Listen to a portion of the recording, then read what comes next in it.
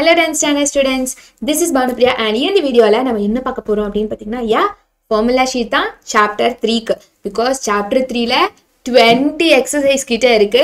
So எல்லாருக்கும் இதில் நிறைய ஃபார்முலாஸ் படிக்கிறோம். எந்த ஃபார்முலாஸ் எங்கே யூஸ் பண்ணுறது எந்தெந்த எக்ஸசைஸ்க்கு எந்தெந்த ஃபார்முலா ஒரு கொஷின் பார்த்து எப்படி இதுக்கு தான் இந்த ஃபார்முலா யூஸ் பண்ணணும்னு கண்டுபிடிக்கிறது இந்த மாதிரி எல்லா விஷயமும் இந்த வீடியோவில் நம்ம பார்க்க போகிறோம் ஸோ நிறைய பேர் சாப்டர் த்ரீக்கு தனியாக ஒரு ஃபார்முலாஸ் எக்ஸ்பிளைன் பண்ண சொல்லி எக்ஸ்பிளைன் பண்ண சொல்லி நீங்கள் வந்து ஒரு வீடியோ கேட்டிருந்தீங்க. லைக் ஃபார்முலாஸ் எல்லாம் எப்படி மேம் போடுறது அப்படிங்கிற மாதிரி நிறைய பேர் கமெண்ட்ல கேட்டிருந்தாங்க. ஸோ உங்கள் எல்லாருக்காகவும் தான் இந்த வீடியோ ஸோ நம்ம ஸ்டார்ட் பண்ணிடலாம். ஸோ இந்த வீடியோ முடியறப்ப ஏஸ் உங்களுக்கு ஒரு ஐடியா கிடைச்சதா? கிளியர் கட் ஐடியா கிடைச்சதா? இவ்வளோதானா அப்படிங்கிற மாதிரி ஒரு மைண்ட் செட் இருந்துச்சா? அப்படிங்கிறது எனக்கு நீங்கள் கமெண்ட் பண்ணும். மறக்காமல் கமெண்ட் பண்ணுவீங்கன்னு நினைக்கிறேன். Yes so let start with first exercise பா. ஃபர்ஸ்ட் எக்ஸசைஸ் அது அப்படியே ஒரு செக்ஷன் அதாவது டூ பாயிண்ட் ஒன்ல என்ன இருக்கு அப்படின்னு பார்த்தீங்கன்னா எலிமினேஷன் மெத்தட்ல சால்வ் பண்ணி எக்ஸ் ஒய் ஜெட்டோட வேல்யூ ஃபைன் பண்றது.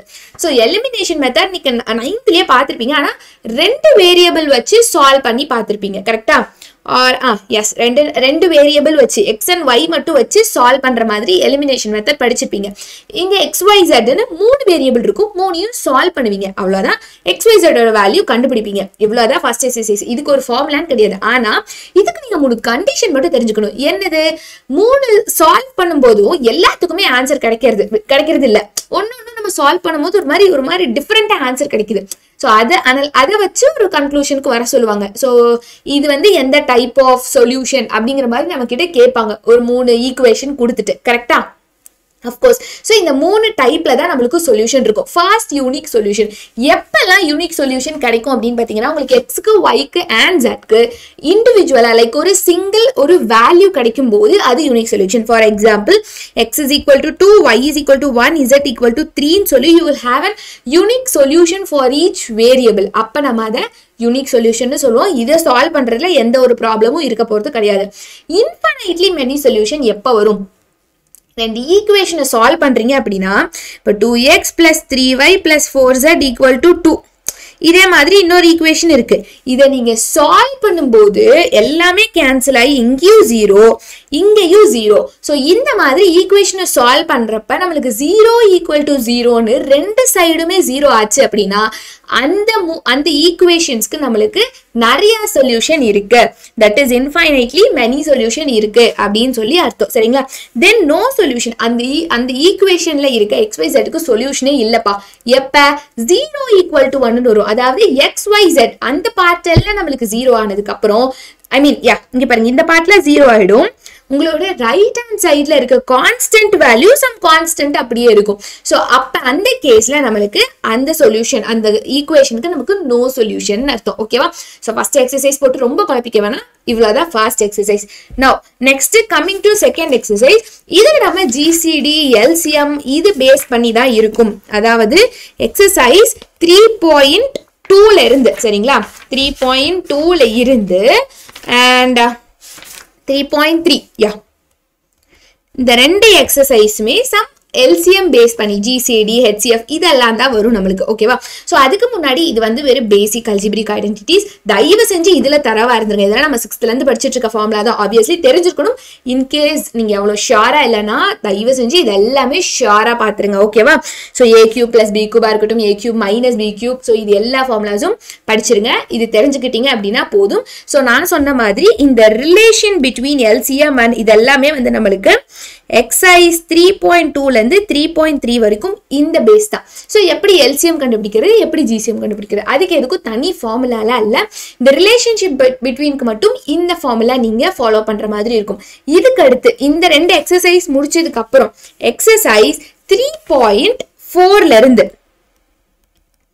ஸோ ஃபர்ஸ்ட்டுக்கும் பெருசாக ஃபார்முலா கிடையாது. கண்டிஷன் தெரிஞ்சால் போதும்.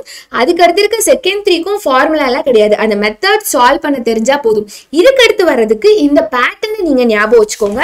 த்ரீ பாயிண்ட் ஃபோர்ல இருந்து three point six yeah three point six வரைக்கும்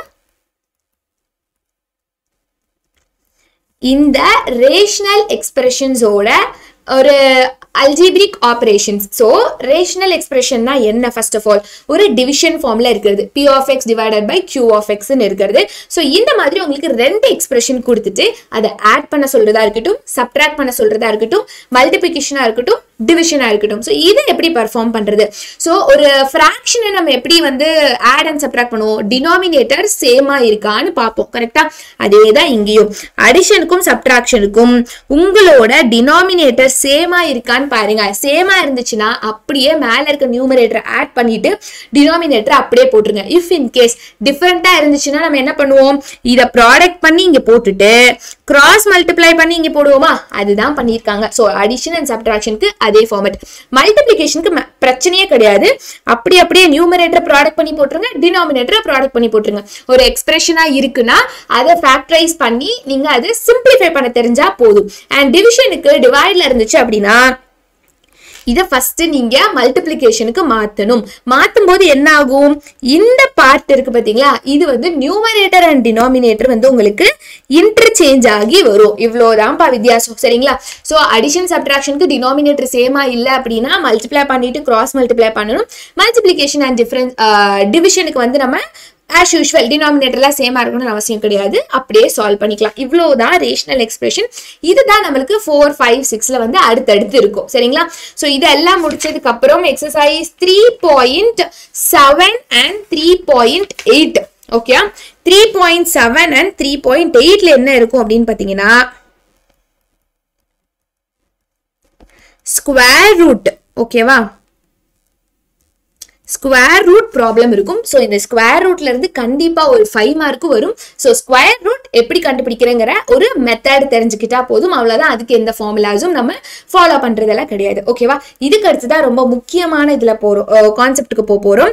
That is exercise three point nine ஓகேங்களா ஸோ இந்த இதுக்கு அடுத்து த்ரீ பாயிண்ட் நயன்ல இருந்து so okay first three point நயனில் என்ன சொல்லியிருக்காங்க அப்படின்னு பார்த்தீங்கன்னா குவாட்ரட்டிக் ஈக்குவேஷன்னா என்ன? Quadratic polynomial so பாலினாமியல்னா we know that some equation right so நான் ஒரு தனி வீடியோவே போட்டிருக்கேன். எக்ஸைஸ் த்ரீ பாயிண்ட் நயன்னா அந்த நயனில் என்ன இருக்குது குவாட்ரட்டிக் ஈக்குவேஷன்னா என்ன? அதுலேருந்து எப்படி சொல்யூஷன் கண்டுபிடிக்கணும்? எல்லாமே ஒரு தனி வீடியோ இருக்கு. அதை பார்க்கல அப்படின்னா அதையும் இந்த வீடியோ முடிஞ்சதுக்கப்புறம் போய் ரெஃபர் பண்ணுங்கள் ரொம்ப யூஸ்ஃபுல்லாக இருக்கும்.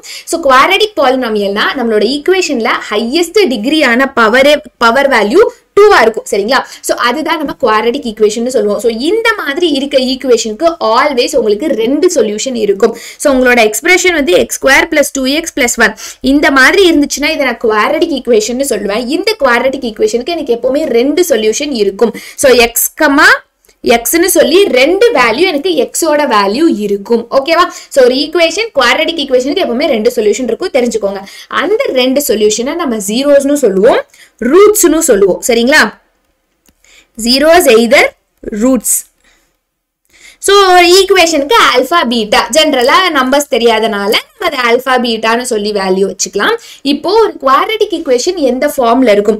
General standard form of quadratic equation x square minus இந்த மிடில் இருக்க டேர்ம் இருக்கு பார்த்தீங்களா இந்த மிடில் இருக்க டேர்ம் வந்து உங்களுக்கு சம் ஆஃப் ரூட்ஸ் அண்ட் லாஸ்ட்ல இருக்க டேர்ம் உங்களுக்கு ப்ராடக்ட் ஆஃப் ரூட்ஸ் ஸோ ஒரு குவாரிட்டிக் ஈக்குவேஷன் ஃபார்ம் பண்ண சொல்றாங்க அப்படின்னா x square minus sum of roots x plus product of roots இந்த sum of roots product of roots எப்படி கண்டுபிடிக்கிறோங்கிற ஃபார்முலா அது சம் ஆஃப் ரூட்ஸ்னா ஈக்குவேஷன்ல minus b by a product of ரூட்ஸ்னா equal to c by a அவ்வளோதான் minus B by ஏ அதாவது எக்ஸோட coefficient divided by x ஸ்கொயரோட coefficient பண்ணால் நம்மளுக்கு சம் ஆஃப் ஸ்கொயர் கிடைச்சிரும். ப்ராடக்ட் ஸ்கொயருக்கு product of ரூட்ஸ்க்கு last term that C by a பண்ணால் கிடைச்சிரும். இதை வச்சு ஒரு குவாட்ரட்டிக் ஈக்குவேஷன் ஃபார்ம் பண்ணிடலாம். இதுதான் ஃபர்ஸ்ட் அடுத்த எக்ஸசைஸ் த்ரீ பாயிண்ட் டென்ல என்ன இருக்கும் அப்படின்னு பாத்தீங்கன்னா த்ரீ பாயிண்ட் டென்ல இந்த குவாட்ரட்டிக் ஈக்குவேஷனுக்கு நான் ரெண்டு சொல்யூஷன் கிடைக்கும்னு சொன்னேன்ல அந்த குவாட்ரட்டிக் ஈக்குவேஷனை எப்படி சால்வ் பண்றது? Either factorization method or formula method சரிங்களா? ஃபேக்டரைசேஷன் மெத்தடு யூஸ் பண்ணிக்கலாம். ஃபார்முலா மெத்தடு யூஸ் பண்ணிக்கலாம். ஸோ அந்த ஃபார்முலா தான் minus b plus or minus root of b square minus four a c divided by two a இதெல்லாம் டெய்லியும் டெய்லியும் okay இது வந்து குவாட்ரட்டிக் ஈக்குவேஷன் சால்வ் பண்ணுற ஃபார்முலா மெத்தட் என்ன? அப்படின்னு நீங்கள் டெய்லி நைட் ரிவைஸ் பண்ணிட்டு பண்ணுங்க ஓகே கம்ப்ளீட்டிங் ஸ்கொயர் கம்ப்ளீட்டிங் ஸ்கொயருக்கு ஒரு ஸ்டெப்ஸ் ஃபாலோ பண்ணால் போதும். ஃபர்ஸ்ட் வந்து என்ன அப்படின்னு பாத்தீங்கன்னா கோஎஃபிஷியன்ட் ஆஃப் எக்ஸோட வேல்யூவை எடுத்துக்கோங்க ஓகேவா செகண்ட் என்ன பண்ணுங்க? இதை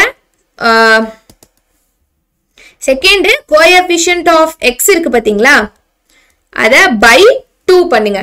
தேர்டு இதுல இருந்து கிடைக்குதுல ஆன்சரு அதை ஸ்கொயர் பண்ணுங்க. ஓகேவா அப்போ ஃபோர்த் ஸ்டெப்பா அந்த ஸ்கொயர் பண்ண ஆன்சர் இருக்குல்ல அதை பிளஸ் கமா மைனஸ்னு போட்டு அந்த நம்பரை அந்த ஈக்குவேஷன் கூட இன்சர்ட் பண்ணிட்டு சிம்பிளிஃபை பண்ணுவோம். ஸோ இதுதான் நம்மளோட கம்ப்ளீட்டிங் ஸ்கொயரோட ஸ்டெப்ஸ் ஸோ இதை ஃபாலோ பண்ணால் போதும் நம்ம கம்ப்ளீட்டிங் ஸ்கொயர் வந்து போட்டுக்கலாம். So coefficient of square coefficient of x எடுத்து அதை பை டூ பண்ணி அதை ஸ்கொயர் பண்ணி கிடைக்கிற வேல்யூவை ஈக்குவேஷனில் ஆட் அண்ட் சப்ட்ராக்ட் பண்ணிக்கோங்க. அதுக்கடுத்து ஈக்குவேஷனை கம்பைன் பண்ணி நம்ம வந்து சொல்யூஷன் எடுத்துகிட்டு வந்துடலாம். ஓகேவா ஸோ இதுதான் நம்மளோட ரெண்டு டைப் இதுக்கடுத்து நெக்ஸ்ட் எக்ஸசைஸ் ஓகே இதுதான் த்ரீ பாயிண்ட் லெவன் உங்களுக்கு. இது த்ரீ பாயிண்ட் லெவன் வந்து கம்ப்ளீட்டிங் ஸ்கொயர் யூஸ் பண்ணி இருக்கும் தென் த்ரீ பாயிண்ட் டுவெல்ல சம் அப்ளிகேஷன்ஸ் இருக்கு. ஸோ குவாட்ரிக் ஈக்குவேஷன் அப்ளிகேஷன்ஸ் இருக்கு.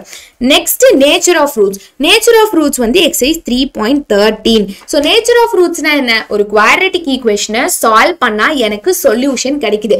உங்களுக்கு கிடைக்கிற சொல்யூஷன் என்ன டைப்ல வேணாலும் இருக்கலாம். ரெண்டு நம்பர் கிடைக்குது. ரெண்டு நம்பர் பாசிட்டிவாகவும் இருக்கலாம் நெகட்டிவாகவும் இருக்கலாம். ஒரு நம்பர் பாசிட்டிவ் ஒரு நம்பர் நெகட்டிவாக இருக்கலாம். ஸோ இந்த கேஸ் கேசஸ் அனலைஸ் பண்றது தான் இந்த மூணு கேசஸ் தட் இஸ் உங்களுக்கு ஒரு குவாட்ரட்டிக் ஈக்குவேஷனை சால்வ் பண்ணி கிடைக்கிற ரெண்டு சொல்யூஷன் எக்ஸோட ரெண்டு வேல்யூஸோட நேச்சர் எந்த டைப்ல இருக்குன்னு கண்டுபிடிக்கிறது தான் நேச்சர் ஆஃப் ரூட்ஸ் ரூட்ஸ்னா ஈக்குவேஷனோட சொல்யூஷனை நம்ம ரூட்ஸ்னு சொல்லுவோம் இல்லையா? எஸ் ஸோ அதுக்கான ஃபார்முலா தான் b square minus four a c so அந்த ஈக்குவேஷன்ல இருந்து ஸோ ஒரு குவாட்ரட்டிக் ஈக்குவேஷன்ல இருந்து ஏ பி சி இந்த வேல்யூஸை எடுத்து இதில் சால்வ் பண்ணி உங்களுக்கு அந்த கிடைக்கிற வேல்யூ ஜீரோ விட பெருசா இருக்கு. ஸோ இந்த பி ஸ்கொயர் மைனஸ் ஃபோர் சியில் வேல்யூஸை போட்டு சால்வ் பண்ணி ஜீரோ விட ஜாஸ்தியா வந்துச்சுன்னா அந்த குவாட்ரட்டிக் ஈக்குவேஷனுக்கு ரூட்ஸ் ரியலா இருக்கும். விச் மீன்ஸ் ரெண்டுமே பாசிட்டிவ் ரூட்ஸாக uh, தான் இருக்கும். அண்ட் அது வந்து அன்ஈக்குவலா இருக்கும். ஸோ ஒன்னு வந்து உங்களுக்கு three comma four five comma four அந்த மாதிரி மாற்றி மாற்றி இருக்கும்னு அர்த்தம். Then delta is equal to zero so உங்களோட ஈக்குவேஷன் எக்ஸாக்டா இந்த இதில் சால்வ் பண்ணும்போது எக்ஸாக்டாக ஈக்குவல் டு ஜீரோவாக இருந்துச்சுன்னா ரெண்டு ரூட்ஸ்மே சேமா இருக்கும். லைக் எக்ஸோட value two comma two three comma three four comma ஃபோர்னு சேமா இருக்கும். நோ ரியல் ரூட்ஸ் அப்போ வந்து இமேஜினரி சரிங்களா? ஐம் சாரி இங்க ரியல்னா பாசிட்டிவ் அண்ட் நெகட்டிவ் ரெண்டு வேல்யூஸ்மே அப்ளிகபிள் தான். ரெண்டுமே டிஃப்ரெண்ட்டாக இருக்கும் தான் அர்த்தம். ஸோ நோ ரியல் ரூட்ஸ் அப்படின்னா அங்க imaginary for example minus root three இந்த மாதிரிலாம் வரும்போது அந்த இடத்துல ஐங்கிற ஒரு டேர்ம் வந்துருது. அப்போ இந்த மாதிரி ஐங்கிற வேல்யூஸ் எல்லாம் வந்துருச்சு அப்படின்னா அந்த குவாட்ரட்டிக் ஈக்குவேஷனுக்கு ஐ வச்சு வேல்யூ வரும். ஸோ ரியல் ரூட்ஸே இருக்காது. இமேஜினரி ரூட்ஸ் இருக்கும். ஸோ நோ ரியல் ரூட்ஸ் இதுதான் நேச்சர் இந்த மூணு கேஸை தவிர வேற எந்த மாதிரி நமக்கு சொல்யூஷன் கிடைக்காது. ஓகேவா இதுதான் exercise three point three three point one three so இதுக்கு இவ்வளோ போதும். ஓகேவா next exercise three point one four so இதில் தான் இந்த ஆல்ஃபா விஷயம் வருது. ஸோ இது ஒன்றும் இல்லைப்பா. இந்த குவாரட்டிக் ஈக்குவேஷனுக்கு ஆல்ஃபா அண்ட் பீட்டா நம்மளுக்கு ரூட்ஸ் இருக்கு. அந்த ஆல்ஃபா பீட்டா வச்சு ஒரு இது பர்ஃபார்ம் பண்ணுவீங்க. இந்த குவாரட்டிக் ஈக்குவேஷன் தெரிஞ்சாலே அதை சால்வ் பண்ணிடலாம். அண்ட் இதெல்லாம் ஆல்ஃபா பீட்டாஸோட ஃபியூ ஃபார்முலாஸ் நம்ம எங்கெல்லாம் யூஸ் அங்கங்கே யூஸ் பண்ணுவீங்க அந்த எக்ஸசைஸில் ஸோ அதனால இந்த ஃபார்முலாஸ் எல்லாமே பார்த்துக்கோங்க இவ்வளோ தான் three point one four so இதுக்கடுத்து ஒன் ஃபைவ் ஒன் சிக்ஸ் கம்ப்ளீட்டாக நம்மளுக்கு கிராஃப் இருக்க போகுது. ஸோ அது தனி செக்ஷன் கிராஃப் விட்டுட்டு அதுக்கடுத்து த்ரீ பாயிண்ட் ஒன் செவன்லேருந்து பார்த்தோம் அப்படின்னா matrix three point one seven one எயிட்லாம் பார்த்தோம் அப்படின்னா கம்ப்ளீட்டாக மேட்ரிக்ஸ் ஸோ ஒரு மேட்ரிக்ஸ்னா என்ன? ஒரு rows and columns rows and columns வச்சு ஃபார்ம் ஆகிறது தான் நம்ம மேட்ரிஸ்னு சொல்கிறோம் ஸோ அதில் எம் ரோஸ்னும் என்ன காலம்ஸ்னு மீன் பண்ணுறாங்க ஸோ எம் கிராஸ் என் அப்படின்னா இப்போ இது த்ரீ டூனா த்ரீ ரோஸ் த்ரீ கிராஸ் டூன்னு அர்த்தம். அப்படின்னா த்ரீ ரோஸ் இருக்கு டூ காலம்ஸ் இருக்கு. ஸோ இந்த மாதிரி தான் நம்ம அசியூம் பண்ணிக்கணும். ஸோ எம் ரோஸ் என் காலம்ஸ்னா எம்ல என்ன நம்பர் இருக்கு? ஃபர்ஸ்ட்ல இருக்கிறது ரோஸ் ஸோ ஒரு நம்பரா ஒன் கமா ஒன் கிராஸ் டூனா ஒன் ரோ டூ காலம் ஃபர்ஸ்ட்ல இருக்கிறது ரோ செகண்ட்ல இருக்கிறது காலம் இப்படி ஞாபகம் வச்சுக்கோங்க. தென் இதுக்கு அடுத்து மேட்ரிசஸ்ல வந்து என்னென்ன டைப்ஸ் இருக்கு? ரோ மேட்ரிக்ஸ்னா ஜஸ்ட் ரோ மட்டும்தான் இருக்கும். காலம் மேட்ரிக்ஸ்னா காலம் மட்டும்தான் இருக்கும். ஸ்கொயர் மேட்ரிக்ஸ்னா லைக் பர்ஃபெக்டா இருக்கும். சரிங்களா? டயக்னல் மேட்ரிக்ஸ்னா உங்களுக்கு பாருங்க இந்த டயக்னல் வேல்யூஸ் மட்டும் தான் இருக்கும். தென் ஸ்கேலார் மேட்ரிக்ஸ்னா அதே மாதிரி இங்க வந்து சென்டர்ல ஈக்குவல் நம்பர்ஸ் லீடிங் டயகனல் வந்து ஜீரோ இல்லாம ஈக்குவல் ஸ்கேலார் வேல்யூஸா இருக்கும். சரிங்களா? அதுக்கு அடுத்து ஐடென்டிட்டி மேட்ரிக்ஸ் அப்படின்னா that is a diagonal matrix which leading diagonals entries are one sorry இங்க ஒன் வரும். ஸோ லீடிங் டயக்னல்ஸோட என்ட்ரிஸ் ஒன்னா இருக்கும். Then null matrix of of the elements is zero null மேட்ரிக்ஸ்னா எல்லா elements நம்மளுக்கு ஜீரோவா தான் இருக்கும். தென் அதுக்கடுத்து transpose மேட்ரிக்ஸ் அப்படின்னா என்னனா ஒரு matrixல இருக்க ரோஸ் அண்ட் columns ஸோ இந்த matrixல இருக்க ரோஸை column போட்டுட்டு column ரோஸா interchange rows and column interchange பண்ணி போட்டோம் அப்படின்னா அது உங்களுக்கு transpose matrix then upper triangular lower ட்ரையாங்குலர்னா இந்த மாதிரி மேல ஒரு ட்ரையாங்கிள் ஃபார்ம் ஆகுதா?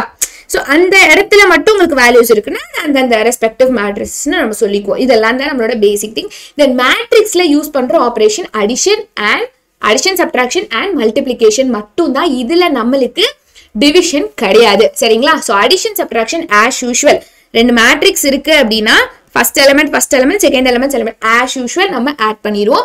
மல்டிப்ளிகேஷன் பை ஸ்கேலர் அப்படின்னா நீங்கள் சாரி அடிஷன் அண்ட் சப்ட்ராக்ஷன் நீங்கள் ஆட் பண்ணுறீங்க அப்படின்னா அந்த ரெண்டு மேட்ரஸுமே சேம் ஆர்டரில் இருக்கணும். ஸோ இங்கே ஒன் கிராஸ் டூனா இங்கேயும் one cross two two cross த்ரீனா two cross three அதே மாதிரி தான் இருக்கணும். மல்டிப்ளிகேஷன் ஸ்கேலார்னா ஒரு ஸ்கேலரில் மேட்ரிக்ஸில் மல்டிப்ளை பண்ணுறீங்கன்னா எல்லா எலிமெண்ட்ஸ் கூடயும் மல்டிப்ளை பண்ணணும். ஓகே மல்டிப்ளிகேஷன் ஆஃப் மேட்ரிசஸ் ரெண்டு மேட்ரிசஸை நீங்கள் மல்டிப்ளை பண்ணுறீங்க இப்போ m cross n n cross பின்னு ரெண்டு மேட்ரிசஸ் மல்டிப்ளை பண்ணுறீங்க அப்படின்னா இப்போ two cross two two cross ஃபோர்னா இதுல லாஸ்ட் எலிமெண்ட்டும் இதுல ஃபர்ஸ்ட் எலிமெண்ட்டும் சேமா இருக்கணும். தட் இஸ் இங்க எம் கிராஸ் என்ன? இங்க பாருங்க என் கிராஸ் பின்னு இருக்கு. ஸோ ஃபர்ஸ்ட்ல இருக்க காலமும் செகண்ட் மேட்ரிக்ஸ்ல இருக்க ரோவும் நம்மளுக்கு ஈக்குவலா இருந்துச்சுன்னா அது மல்டிப்ளை பண்றதுக்காக மல்டிப்ளை பண்றதுக்கான எலிஜிபிலிட்டி இருக்கு அப்படின்னு சொல்லி அர்த்தம். சரிங்களா? ஸோ இவ்வளோ தான்ப்பா நம்மளுக்கு மேட்ரிசஸ்ல இருக்க ஆப்ரேஷன்ஸ் அதுக்கப்புறம் ஒரு சில ப்ராப்பர்ட்டிஸ் இருக்கு. அடிஷன்ல என்னென்ன ப்ராப்பர்ட்டிஸ் எல்லா ப்ராப்பர்ட்டிஸுமே like commutative associative identity inverse எல்லாமே அப்ளிகபிளாக இருக்கு. ஸ்கேலார்ல எப்படி நம்ம வந்து மேட்ரிசஸ் அதாவது இங்க பாருங்க பி கியூ இப்படி இருக்கு அர்த்தம் அப்படின்னா இது அசோசியேட்டிவ் இது இந்த ஸ்கேலரை நீங்க எது கூட வேணாலும் மல்டிப்ளை பண்ணிக்கலாம். இப்போ பி ஜென்ரலா ஒரு கான்ஸ்டன்ட் வச்சு ரெண்டு மேட்ரிக்ஸ் ஆட் பண்றீங்கன்னா அதை இண்டிவிஜுவலா மல்டிப்ளை பண்ணிட்டு கூட ஆட் பண்ணிக்கலாம். இல்ல ஆட் பண்ணிட்டு மல்டிப்ளை பண்ணிக்கலாம். இதெல்லாம் டிஸ்ட்ரிபியூஷன் ப்ராப்பர்ட்டி அதே மாதிரி மல்டிப்ளிகேஷனில் வந்து பாத்தீங்கன்னா கமிட்டேட்டிவ் ஜென்ரலா எல்லாத்துக்குமே இருக்காது. Associative multiplicative identity and inverse எல்லாம் இருக்கும். ஓகேவா இது some important result so a டிரான்ஸ்போஸ்னா நான் சொன்னேன் ரோசி காலம் இன்டர்சேஞ்ச் பண்றது. அகைன் டிரான்ஸ்போஸ் பண்ணா உங்களுக்கு அதே ஏ தான் கிடைக்கும். ஸோ அந்த மாதிரி ஒரு சில ப்ராப்பர்ட்டி ஸோ இதெல்லாம் தெரிஞ்சுக்கிட்டாலே போதும். நம்மளுக்கு is more than enough for matrix ஓகேவா ஸோ இவ்வளோ தான் அல்ஜீப்ரா என்ன மேம் இவ்வளோ சொல்லிட்டு இவ்வளோ தான் சொல்கிறீங்கன்னு பார்க்காதீங்க.